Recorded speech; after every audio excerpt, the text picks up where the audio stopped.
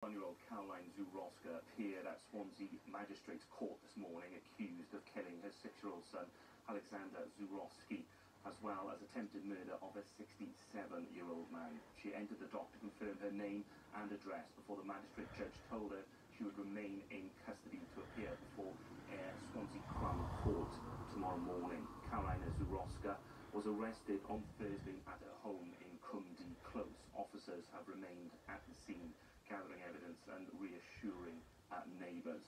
The family of six-year-old Alexander have paid tribute to him, describing him as an amazing child who was very kind and loved, playing with his little sister and family dog.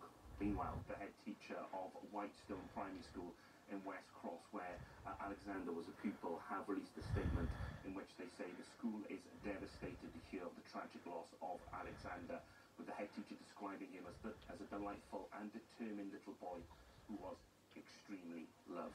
South Wales Police say they're not looking for anyone else in connection with this incident and Carolina Zuroska will appear before Crown Court Judge tomorrow morning.